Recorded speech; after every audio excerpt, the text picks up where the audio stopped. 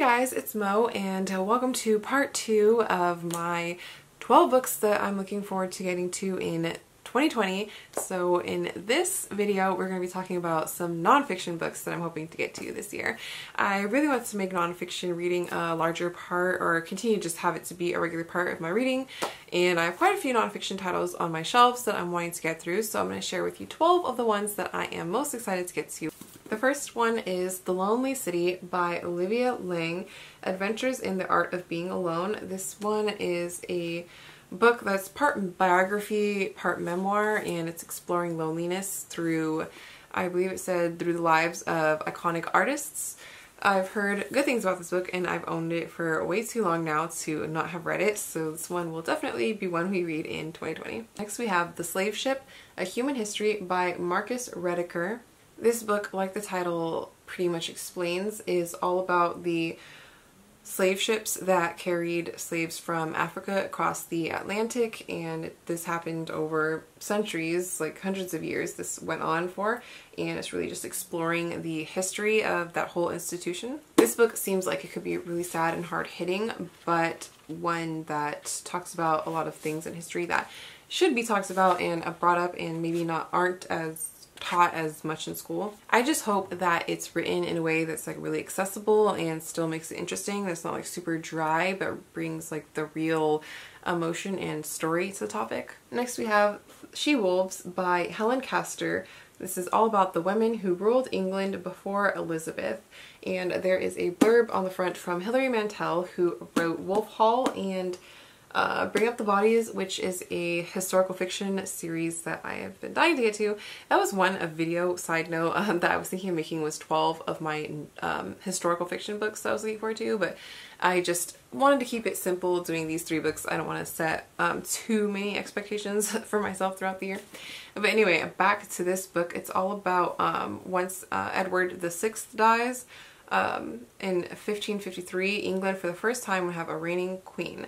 The question was who.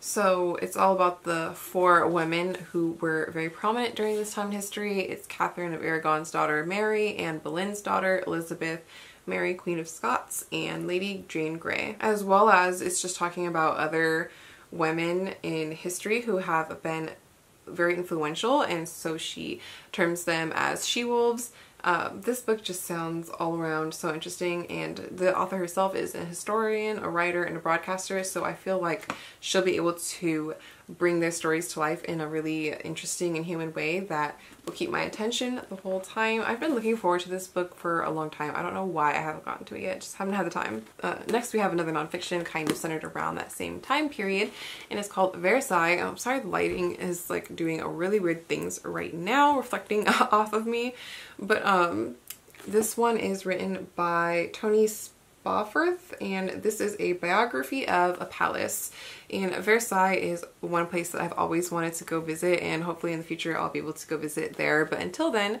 I will read this book and learn a little bit more about the history behind the palace. He really looks into the stories about the royals and the artists who lived there. Uh, this was back in 1789 and I just know it's such a beautiful place and I want to know more about it. Next we have The Lost Art of Reading, Books and Resistance in a Troubled Time by David L. Ulin.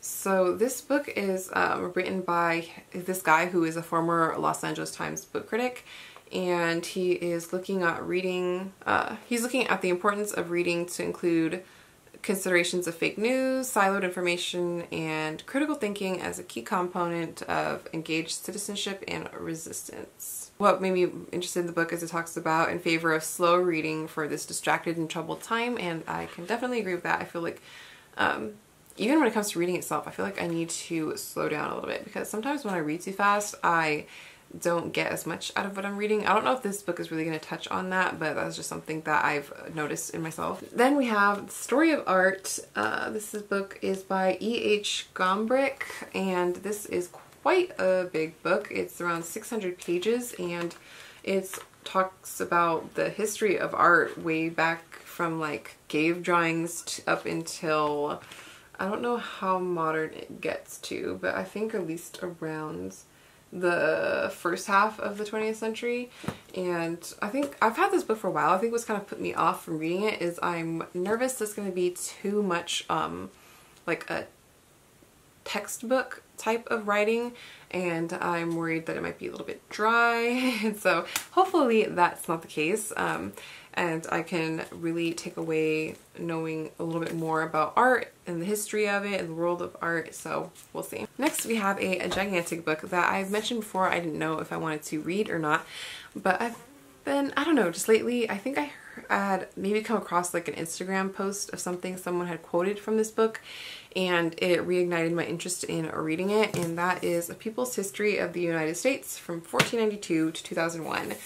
This is another gigantic book. The size of this book has definitely scared me away from reading it. It's almost 700 pages, but I just, uh, I just really feel like I need to know more about the history of the United States. Like my, I don't know if I failed myself or the public school system has failed me, but I just don't really remember a lot of what I learned about the history of the United States in school.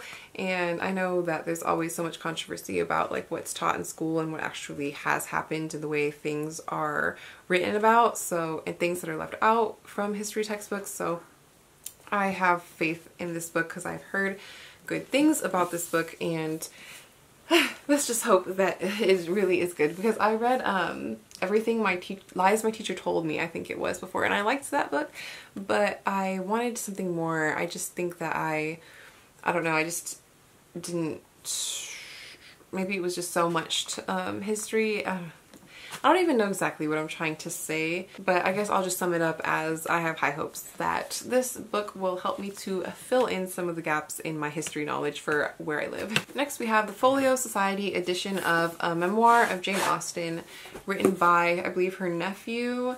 Um, the name of is J.E. Austen Leigh. So this book, this is the cover and it came in this nice little slipcase here. I bought it secondhand so the slipcase is a little bit beat up but I don't mind too much. I plan on reading this mem uh, memoir of Jane Austen after I finish up reading her books. So I have Love and Friendship to read um, but then I think I also want to get to, I'm to maybe say this wrong, I think it's Sanditon, Sanditon and I know that one wasn't like a finished work of hers, but it's still something that's out there. So I kind of want to read those two and then I will get to this memoir. I just need to get to Love and Friendship, but that's another huge uh, book that I just haven't gotten around to getting to. Next we have a gigantic book in the physical size of it and that is For the Love of Books, Designing and Curating a Home Library by Thatcher Wine and Elizabeth Jane of Juniper Books. I keep saying Jane, Elizabeth Lane of Juniper Books. And this book is all about making and designing, curating your own home library, which is the most perfect book I could buy for myself probably could be. Look at even the end papers are so pretty. They're books with their pages uh, splayed open. And yeah, this is just a really beautifully designed book and I hope that the content of the book itself lives up to it, the outside look of the book. Then we have Good Kids, Bad City, a story of race and wrongful conviction in America by Kyle Swenson. Oh my gosh, this light is super bothering me. If I move over here, it won't be as bad. So this is the book I was talking about before. This one is a kind of newer release book. So this book is written by an investigative journalist. His name is Kyle Swenson, the author, and he is writing the true story of one of the longest wrongful imprisonments in the United States to end in exoneration and looking at the social and political history of Cleveland and the city that convicted them. I really am interested in reading in this, especially because I have been a little bit more interested in more learning more about the justice system and especially um, and how it relates to a lot of the wrongful convictions in America and the things that has to do with race. Next we have The Source of Self-Regard by Toni Morrison, selected essays, speeches, and meditations. This is one that I'm looking forward to reading. I have recently bought in a whole set of Toni Morrison's books that I'm wanting to read through. I'm debating back and forth if I want to read the set of books first and then read this or the other way around. But um, I have read most of the books in the set, so most of them are going to be rereads for me. So I'm kind of thinking I just want to go straight into this book first and then go back into reading her set of books. And lastly, we have The Fall of Empires From Glory to Ruin An Epic Account of History's Ancient Civilizations by Cormac O'Brien. This book, um, I can't even remember when I bought it. I think I bought it back when I was working at the used bookstore I used to work at like six years ago or whatever and um, I really like the way that this book is set up and I have read a little bit of the I've read like the first chapter or two before, but for one reason or another, I haven't actually made it through reading this whole book. But it is written in a very accessible and easy to understand, not too heavy of a text way that really just um, gives a really good uh, history of ancient civilizations. So those are the top 12 nonfiction books that I'm hoping to get to in 2020. Give me some more recommendations though if there's other ones that you feel I should get to during this year and don't forget to subscribe and watch out for Friday I will be releasing the last video in this series of books that I'm going to be looking forward to reading in 2020 and you have to stay tuned until Friday to see what uh, whole genre and category that one's going to be, but I'm really excited for that one. I think you guys will really enjoy it too, so definitely be on the lookout and I'll see you guys then. Bye!